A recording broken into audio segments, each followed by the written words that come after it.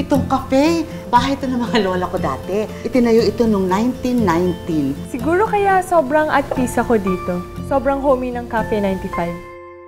Tumatak pala sa'yo yung binigay ko sa'yo na bottle pen. Alam mo yung feeling na I want to connect to something bigger, greater than myself. I'm joining Greenpeace. You will inherit the family business. Kaya tigilan mo na yung mga NGO mo na yan. Sandra, this is our team captain, Ricardo Avila. Kumira. My dad wants to meet for a collab with the foundation and your football club. Kisas talaga siya kay dad.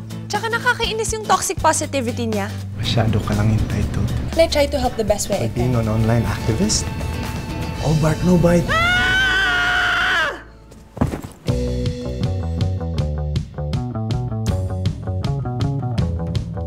Gabi, pagka manonood ka ng football practice ng crush mong si Topper, Hindi naman ako pupunta dun para manood lang kay Topher eh. Naku, pero alam mo anak, konting suklay ka lang ha. Mas maganda ka pa dun sa mga babae nagsasayaw sa bar na yan. Grabe ka naman ate girl! Ito yung sign niya na nagsasabi to step out of my comfort zone. Maganda siya, no? Ooh! The most beautiful witch in the world.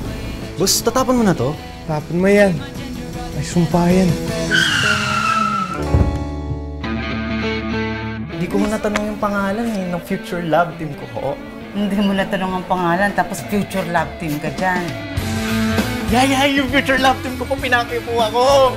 Sa pelikula, pag meant to be, anong gawin? Pagtatagpuin pa rin. Hinihintay ko lang po talaga yung slow-mo. Tsaka yung tumutugtog kahit wala naman po.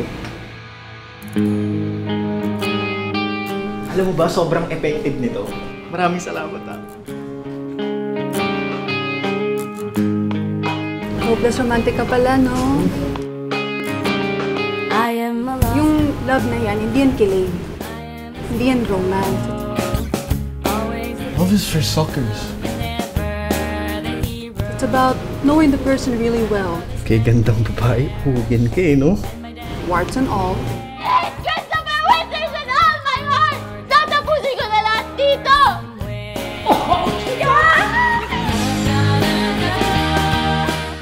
loving them unconditionally and even sacrificially. Let's go, Pete!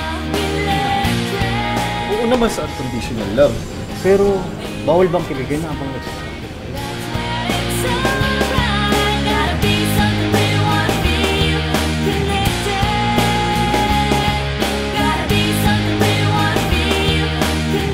Connect to something bigger, greater than me.